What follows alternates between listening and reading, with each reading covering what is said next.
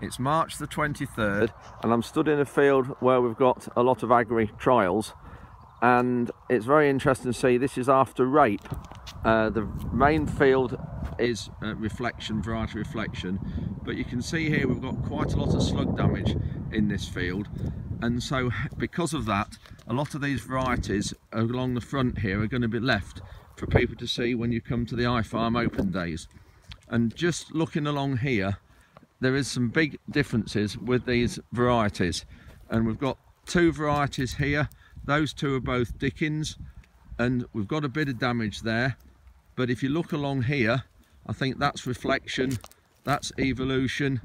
And then the one here in front of me just there that is relay. And you can just see here the difference in the slug damage. All this seed hadn't had um, deter treated there's a plot back here of Dickens that had. There the right hand plot I think did have and the left didn't. So not a lot of difference.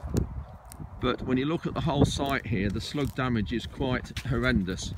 But as we go down the varieties here you can see there is some differences. There's a real good one there. Not quite sure what that variety is yet. But looking down here at all these varieties there is a difference. And you can see in the distance the slugs have completely taken out a lot of the varieties so we're pulling that up and going to put some spring variety trials in there. There's a good one.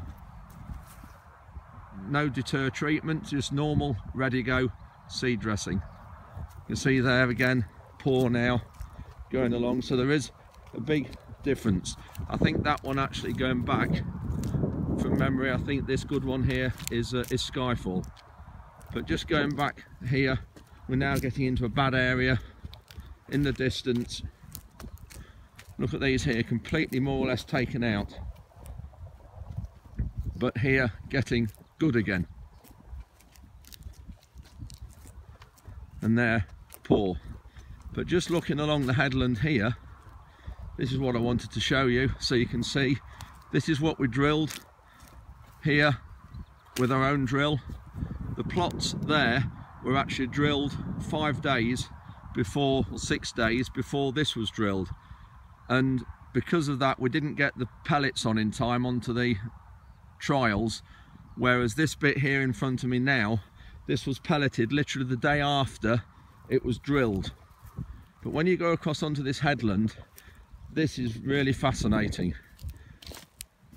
To the right of where we're stood now is Dickens. It's a year old seed and it is deter treated.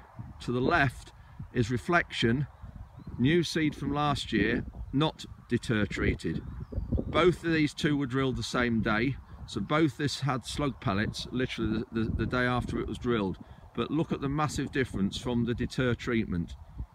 And again obviously the variety will have a little bit of an effect in that as well of what we've just seen but you can see here how fascinating it is that there is a varietal difference with slug damage and slugs are attracted to some varieties better than others. But this has been sprayed off now with glyphosate. We're going to work it and put a lot of spring variety trials uh, in here for you all to see when you come on our iFarm days